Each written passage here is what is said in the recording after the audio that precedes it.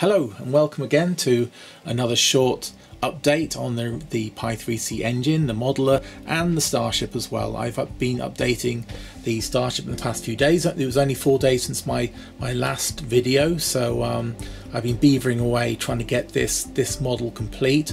Now on this model I've actually removed a number of sections, I've also added a number of sections.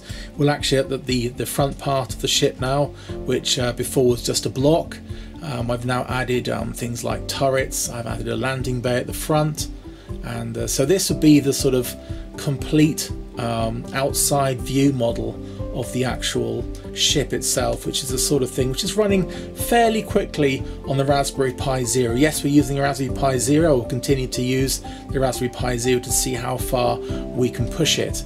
And I've added one other thing to the 3D modeler as well, which will make it much faster again. And on the bottom right hand corner, you'll see next to the little man that I showed you last time is a full screen button. So we're going to hit the full screen and you'll notice there's going to be quite a speed up. Whoops, I've jumped. I've, I've still got a few things left to do, but you'll notice as I, as I animate off now, it's a lot faster, a lot more responsive in full screen. It's the same resolution as the desktop, and um, which is which is I think it's 1440 by 900 or whatever it is, and it's it's a fairly high resolution modelled, and it's running um, at, at, quite some speed on the Raspberry Pi Zero. So I thought I'd just show you that that speed difference with this new model. The new model um, has had the the um, original bay that I, I, showed you earlier removed. It's also had the biodomes simplified and also the shopping miles been removed as well. But the reason for that is that as we go into the landing bay, quite at the moment it's a very simple version, but as you go into landing bay there, there should be a level of detail that will suddenly pop in the other landing bay which is fully detailed and the rest of the model that you don't then see that such as the outside of the spaceship will then disappear without with it um, seamlessly if I if I can manage that. So um, I'll be adding a lot more sections to the ship.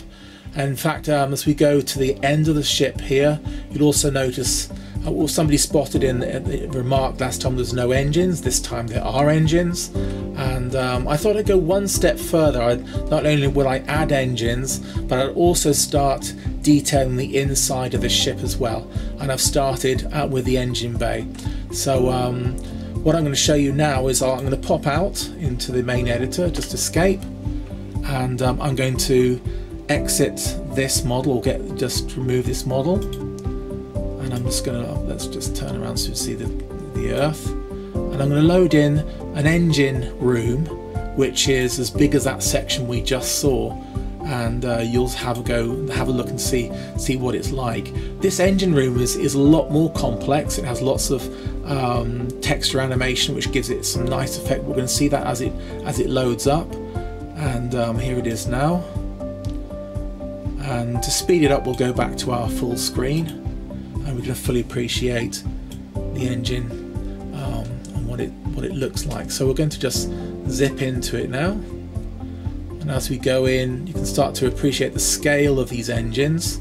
These engines are using um, textured animation. Um, there's no moving parts, no moving um, coordinates. All all that's happening is it's flipping between frames, but it gives a nice moving effect.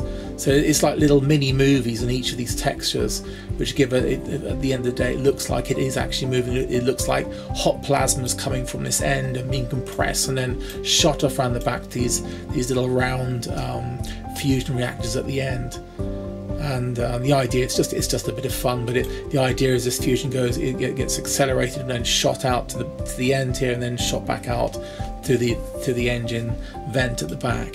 So um, anyway it's just a bit of fun. But uh, but it's nice. It looks nice and um, it's something where we can appreciate the size of these eight huge engines inside this this big engine bay. And uh, it's got full girders and supports and and uh, walkways uh, there'll be more things in this. I've, I've, I've um, again, I'm pushing it to the limit with the Raspberry Pi Zero to see what I can get, and now with a fairly high resolution full screen, it's it's performing very well. It's, it's, I was quite surprised again how how much um, we can get out of this little Pi Zero, and um, and actually I tried this also on the Pi 4 And uh, even though I've written this engine for the Pi Zero, I was quite surprised that the Pi 4 was stuttering. Um, this, the Pi Zero here seems to be performing very smoothly and without any jittering or stuttering, whereas the Pi 4 was actually stuttering. These animations would go did did did and then suddenly speed up, sometimes faster frame rates, sometimes very slow. But I'm I'm pretty sure that's my coding rather than the actual um, rather than the actual Pi 4 itself. And to be fair, it's not using any multi multi processing. It's all designed for single core processing on the and and for this little five pound computer. Um, but overall, it, it, performs it performs pretty well. Obviously, if you put this on a, win, a, a PC, about it run a PC, it, it runs as smooth as butter, at full frame rates and everything else. You'll notice also that um, a lot of it's very there's no sort of smooth shading, and that's simply because not that the engine's not smooth, it doesn't have smooth shading. It's just my model hasn't been exported with normals at the moment. I haven't got normal generations set, um, set up, so um, everything is a bit flat um, but I will have normal generation there quite soon. Or it, but it does actually pick up normals. Just my exporter is not not putting out normal, so nothing is that smooth. It's all flat shaded. But uh, but overall, though, I can you can certainly we can certainly appreciate the speed and um, the scale of the sort of models you can do on the on the Raspberry Pi Zero and see what we can get away with. There's some really I'm sure there's some really nice games that can be made and done with this sort of um, complexity of model, whether anything with adventure game to first person shooters. Obviously, not that much more complex, nothing that's that um, CPU intense, but uh, certainly for graphics and wandering around, um, yeah, there are quite a few games that you can think of which could utilize the sort of graphics on a five pound computer. So, anyway, those are the updates I wanted to show you. Just uh, First of all, the updates of the ship, the, the engine bay you can see here, and also the full screen, which um, on the Raspberry Pi Zero is a lot faster to render.